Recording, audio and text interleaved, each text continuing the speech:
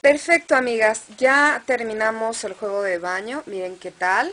Como les dije, le puse los botoncitos como tipo nieve.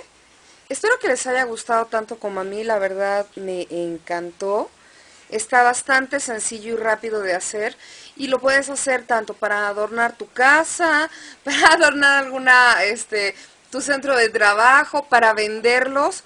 O como un regalo, la verdad, hermoso que le puedes hacer a alguien ok esta es la tapa del water. Le puse estos resortitos para asegurarla a mi a mi water. Si tú quieres podrías ponerle un, un forro en la parte de atrás pero como la verdad esta parte no se va a ver porque queda dentro de la tapa yo no le vi caso.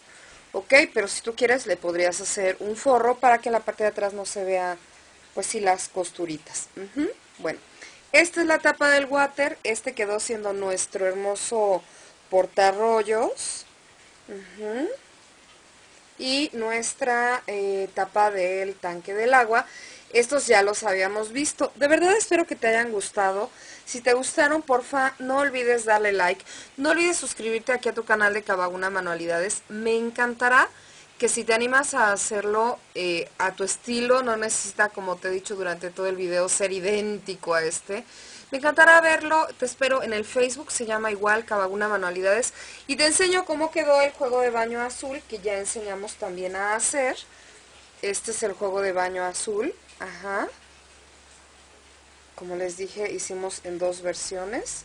Mira, este es el azul, ajá. Y este es el cafecito dos versiones distintas, pero igual de bonitas. Esta es la tapa del water. A este le hicimos un portarrollos para dos rollos de los que van colgados. Y esta es su tapa del drenaje.